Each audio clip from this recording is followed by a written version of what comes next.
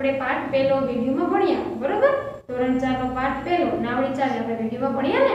એમાં તમને બધાને ખૂબ મજા આવી હશે. તો આપણે પાઠ બીજો ભણશું. શું પાઠ બીજો? તો કે ઠંડી. શું આવે છે? તો કે પહેલા આવે છે ગીત ગીત કોના વિશે છે? તો કે ટમેટા વિશે.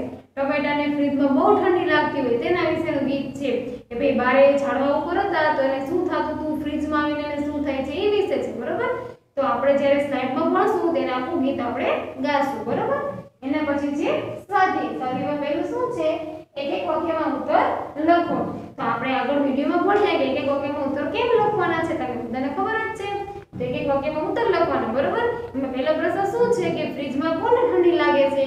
તો આપણે જ્યારે ગીત ગાશું ત્યારે તમને ખબર પડી જશે કે ફ્રીજમાં કોને ઠંડી લાગે છે. એવી રીતે આપણે છ પ્રશ્ન ભણવાના છે, બરોબર? એના પછી છે શબ્દના બે બે વાક્ય લખો. આપણને શબ્દ આપેલો છે, તેના વિશે આપણે બે બે વાક્ય બનાવવાના છે. તો એમાં ઉદાહરણ આપ્યું છે ફ્રીજ.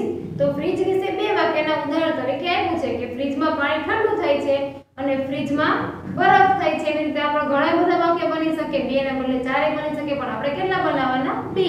એવી રીતે આપણને ચાર ચાર શબ્દ આપ્યા છે. ચારેના બબે શબ્દ વાક્ય બનાવવાના, બરોબર? એના પછી છે, શબ્દ પરથી વાક્ય બનાવો હવે શબ્દ પરથી વાક્ય બનાવો તો એમાં શબ્દ આપ્યો હોય આપણને તેના પરથી આપણે વાક્ય બનાવવાનું છે. બે શબ્દ આપ્યા ટમેટું અને પંખો. તો બે શબ્દનો ઉપયોગ કરી અને આખું વાક્ય બનાવવાનું. એવા આપણને ત્રણ શબ્દ આપ્યા છે. ત્રણેયના બબે વાક્યનો ઉપયોગ કરીને બનાવવાનું. બરોબર? સમજાઈ ગયું? એના પછી છે ટ્રાફિક સંકેતની નિશાનીઓ. તો અહીંયા મેં કેટલાક ચિત્ર દોર્યા છે. તો આપણે એ સમજીશું કે એમાં શું આવે છે. તો પેલું શું છે? આ શેનું ચિત્ર છે? તમે બારે રસ્તા ઉપર જતા હશો તો આવું ક્યાંક તમને બોર્ડમાં દેખાતું હશે તો એને શું કહેવાય તો કે નો એન્ટ્રી નો એન્ટ્રી હોય એટલે ત્યાં રસ્તો બંધ છે ત્યાં કોઈ જવાનું નથી. એવી રીતે એવું બોર્ડ મારેલું હોય. જ્યાં આવું બોર્ડ હોય ત્યાં આપણે જવાનું નથી.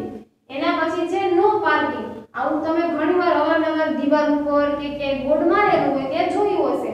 કે ત્યાં લખ્યું હોય નો પાર્કિંગ. નો પાર્કિંગ નો અર્થ શું? કે ત્યાં કોઈ વાહન પાર્ક કરવાના નથી. બરોબર? એના પછી છે ઝીબ્રા ક્રોસિંગ. ત્યાં આવું બોર્ડ મારેલું હોય. જ્યાં રોડ ઉપર ઝીબ્રા ક્રોસિંગ દોરેલું હોય, ત્યાં ઝીબ્રા ક્રોસિંગ હોય.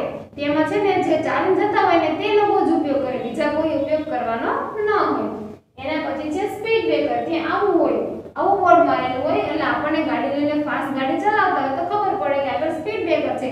તો આપણે વાહન ધીમું કરી નાખવાનું ને પછી આવવું બરોબર? એના પછી છે નો હોર્ન હોર્નની નિશાની આપી હોય ને આપણે હોર્ન વગાડવાનું નહીં. એવું કઈ જગ્યાએ આવું બોર્ડ મારેલું હોય? તો કે જ્યાં હોસ્પિટલ હોય, શાળા હોય, ત્યાં હોય, બરોબર? હોસ્પિટલમાં બીમાર માણસો હોય, તેને કાનમાં તકલીફ થાય તેને બીમાર હોય એટલા માટે ને શાળામાં બાળકો ભણતા હોય તેટલા માટે આવું એક બોર્ડ મારવામાં આવ્યું, બરોબર? એના પછી છે રેલવે ગેટ, હવે રેલવે ગેટ એટલે શું?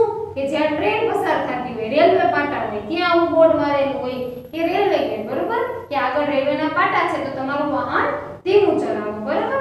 એના પછી શું આવ્યા? તો કે શબ્દકોશના ક્રમમાં ગોઠવો. તો તમને બધાને ખબર હશે શબ્દકોશનો ક્રમ કેમ?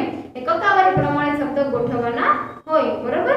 હવે આખી આપણે આખો પાઠ બીજો ભણી ગયા હવે એને લખવું તો જશે હવે લખવા માટે આપણે સ્લાઇડ શો બનાવશું ત્યારે તમને મોકલશું. તો તેમાંથી જોઈને તમારે લખવાનું રહેશે.